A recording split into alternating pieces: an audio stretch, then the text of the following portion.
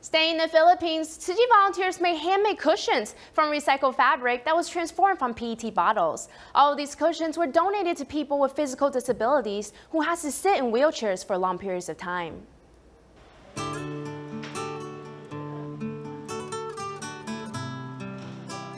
using recycled cotton fabric to weave cushions. These are gifts that the local city volunteers and elementary school students want to give to physically challenged people. I did this to encourage people with physical disabilities. I want to tell them not to give up because the setbacks we encounter are our life lessons. A care recipient said that he cannot move like ordinary people because he has to sit in a wheelchair 365 days a year. It is very hard and uncomfortable sitting all day.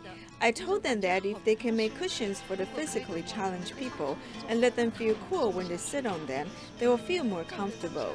During the production process, they all felt positive energy.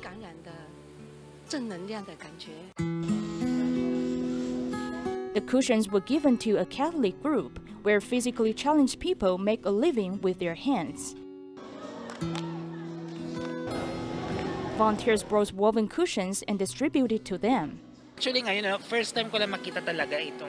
I'm very happy to have this cushion. It is very soft, which is very good for people who sit in a wheelchair. I feel more comfortable when moving my body. I believe that Tzu Chi has a benevolent heart as they treat everyone equally. We always appreciate the hard work of volunteers because we see their sincerity. In fact, I also want to become a Tzu Chi volunteer because I have been inspired by them. Both the givers and receivers have been influenced mutually by the positive energy.